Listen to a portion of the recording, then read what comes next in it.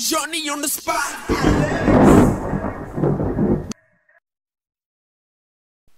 Dear Heavenly Father, the greatest group of guys I've ever coached, and I thank you for them, dear Heavenly Father. Thank you for not letting them quit. Thank you for letting them hang in there throughout the entire season.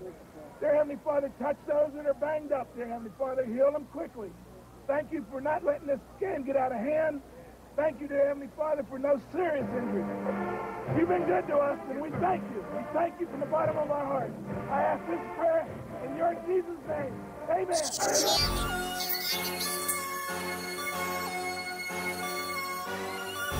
Here's Johnny Smith up the middle. Great job by the offensive line, and then Johnny just at the speed all the way to the touchdown. You know, some of the changes we made at halftime uh, involved Johnny. The extra point in the first half, so it's 14 nothing ball game right here, and the offense just keeps on going. It's Darnell to J.J. Huggins right there, and it worked once, why not do it again? Right back to the big tight end, and the offense is moving again. See, JJ had a great year. You know, we're really trying to push JJ in to be in some of these All-Star games. Uh, we feel like he deserves it. He's a first team All-SWAC tight end. He's going to he's going to play on Sunday. He has that ability. He can catch the ball. There you go, uh, Darnell to another guy that might be able to play on Sunday. The receiver Damon Hodges, the touchdown, 20 to nothing score right there. Thank goodness Damon's uh, an underclassman. we got him back. And Damon's the kind of guy, as you saw earlier, that's a good leader.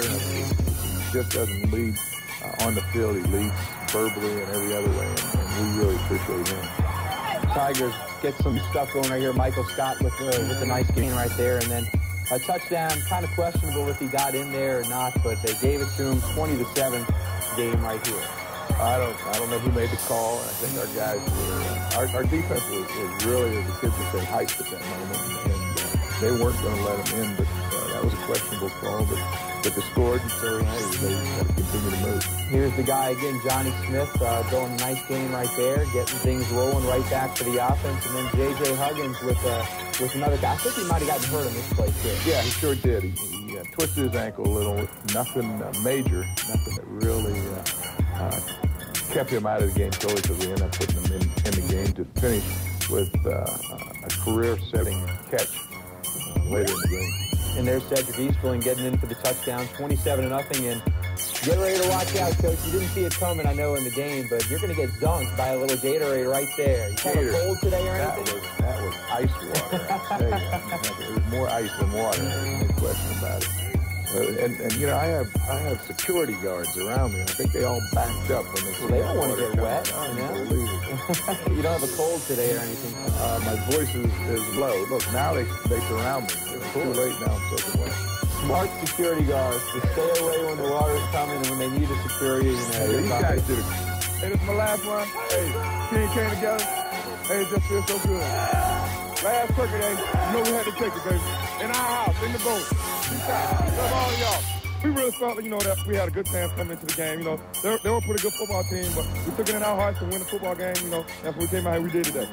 And you get to break uh, your former teammate's record, uh, Reggie Barlow on receptions. That's got to be sweet. Oh, yeah. I mean, it feels great. Reggie's a great guy. He comes back in the summertime. He works out a lot with me. And even when he was here, he taught me a lot of things, you know. And it feels good, you know, to break his record. So you got to feel good your last game going out and you get to beat your hometown team of Skegee. Yeah, it's a very good feeling. Uh, I'm just so happy right now. And, you know, the boys, you know, my teammates, they put it on the line for me, and I gave all I had. Defense played a great game. And most importantly of all, we stuck together. Through the good times and the bad times, we stuck together and came out with a victory. Are surprising this win is as convincing as it was?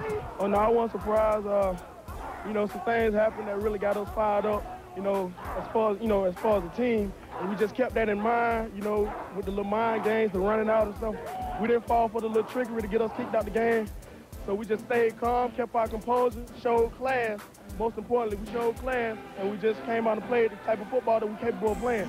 We feel like we felt like we had something to prove today and coming out and showing that we we are a good team. Just our record didn't show it this year, and um, it gives us something to build on for next year. And um, it's a great win. Well, I thought it was going to be tight myself. I think that uh, our defense did probably the best job they've done all year in stopping a good running attack like they did. Um, the one thing that we really uh, did was we came out in the second half. We made some changes in the in halftime. We put little Adamant, Johnny Smith in there, and uh, because all they're doing was standing up and and at the line of scrimmage, and Johnny has that wiggle at the line of scrimmage, and he was able to break one, which really changed the complexion of the entire game.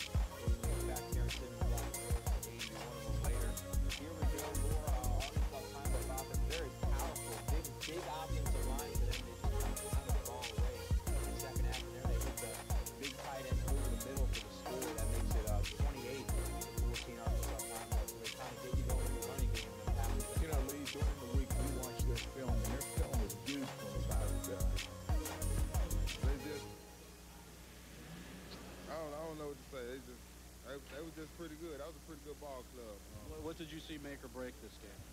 Um, third down conversion.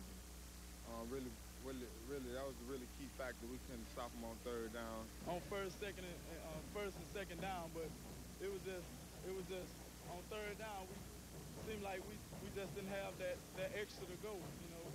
And it, it really hurt us on third down. They put a whole, they put a lot of pressure on, the, on on me, and they tried to keep me in the in the pocket. And they did a good job of stopping the option and um, stopping sprint out. And um, they had a, they got a real good team, and their defensive line was just fast. We, we were really expecting that. They seem to be going after you, and I know, I know on at least one occasion they got a roughing the passer penalty. Yeah, um, I took a I took a beating today. You know, I guess that's that's football. You know, you try to rattle the quarterback any kind of way you can, and um, they did that. They um they put a, um, pressure on me, hitting me after the throw, or hitting me on the option, and it's just something we got to work on in practice. The team to be able to keep moving the ball in the air. Do you think you all need to run the ball also? Uh, I, I think we're a balanced team, and sometimes teams tend to stop our run, so we go to the pass. So whatever's open and whatever's working, that's what we tend to go with. When we went Southern, the run was working a little more so than the pass, so we ran the ball as well as the Alcorn. So whatever open and whatever's working, that's what Coach Hughes tend to go. Stick to the coaching, right? Yeah. All right, here we go to the highlights. Uh, first quarter, the first possession for Prairie View, the long completion right there. And uh, they do actually miss a field goal, so the drive does stall. You know, they have uh, very, very unique offense. They'll come out and, in uh, some of the craziest different schemes. They didn't do that much yesterday, but they, uh, they did a great job in, in their execution also offensively. Makes them tough to prepare for with all those different formations. You saw Prairie View put the ball on the ground. They had a bunch of turnovers.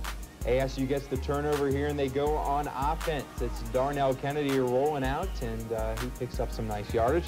And then Kennedy rolling again, looking for Damon Hodge, and of course, Damon Hodge comes down with the catch. We move right ahead. There it is, Larry Bias. Actually, a play fake. I'm sorry, Darnell to Damon Hodge for the touchdown, and uh, ASU gets on the board 7 to nothing. That was a boot, and uh, boot is when the, the quarterback fakes one way and, and rolls back the opposite direction, and, and uh, we had Damon Hodge wide open.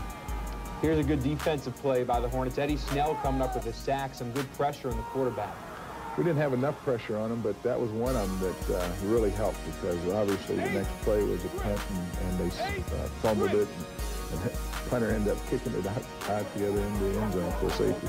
That makes it 9 nothing. And here we go, Marquez Thomas with the reception right there. And then the Larry Bias, the freshman, 25-yard run. Nice to see the running game getting going. That's right. You know, that's the first big run for Larry all year, and I think that gave him a lot of spark because uh, he did a great job. Marquez Thomas with a pretty good job drive here, another reception. And the offense is moving. Here's Darnell. Watch him improvise here. This guy, if you pressure him, it's tough to bring him down, and he finds Damon Hodge. Damon will actually fumble it, but you do recover the But that was a good catch from Damon. Right? That was an excellent catch. He jumped off the ground at least a foot and a half, and uh, really, really good vertical jump. And Darnell gets into the end zone for the score, for the touchdown, rather, 16 to nothing. You were on top. Pretty good looking drive right there. Yes, you know, and as I said earlier, you, you wish that you had a, a big play, but uh, we're satisfied with the way our offense just uh, takes up all the time. That's the thing that's really important, is taking all the time on the clock. It rests your defense, too, That's which exactly is nice, right. too. When you don't have a lot of depth on defense, too, it's nice Exactly. to see them get some rest. All right, here we go. Prairie View on offense again, and uh, quarterback rolling. Eddie Snell coming up with a, a nice play right there. Yeah, Eddie Snell played well, but uh, as you saw in the background, they have a lot of people there, and that game was scheduled for 6 o'clock. Uh, according to them, on our contract, it was 1.30, so uh, I think they had to change a lot of plans and get the people out there, and they came. Y'all had a flight to catch. You had to Yes, get back exactly. in town. Six o'clock game for you. Here we go. Uh, the Panthers stick it in for six points. 16 to 7 the score at half. You see the scoreboard right there. Well, what do you what do you say to your team at halftime? The break did not slow them down at all. A big third quarter for Alabama State. We'll go right into the highlights. First play of the second half. Panthers fumble the football, and you recover Coach. You know, that's Chris Daniel. He's a local young man, and, and uh, he's having a great. To fill in for Tawanis Lockett was tough, and Chris is stepping in there and doing a great job. We're really excited to, about his improvement. And it's nice to see the, the touchdown there by Larry. Uh, 23 to 7 the score now. Larry, as I said earlier, uh, he hadn't played much since uh, the Southern game, and then now he's starting to get back in the click and back in the uh, in the game again. Johnny Smith hurt his ankle a little, and so we had to pull him, and, and luckily uh, Larry was ready and, and willing to play. Prairie View had some problems punting the ball today. You see the, the punter there dropped another snap, and you force him out of bounds there. And you were happy. well, you know, my three keys is you got to win the kicking game, you got to have the fewest mistakes, and you got to execute, and, and we won the kicking game. There's Darnell to Damon Hodge. Seven catches, 92 yards for Damon, and a few plays later, Darnell calls his own number. He gets in the end zone for the touchdown, but this one actually a, a penalty on this one and it brought it back, so it didn't count, and the drive stalled them down. Right. We uh, we made a little, few too many mistakes, uh, especially some of the penalties that we had. Uh, we can't afford to do that at home, let alone away from home, and, and that hurt us because we needed that, that somewhat easy touchdown. We had to get backed up and, and start all over again.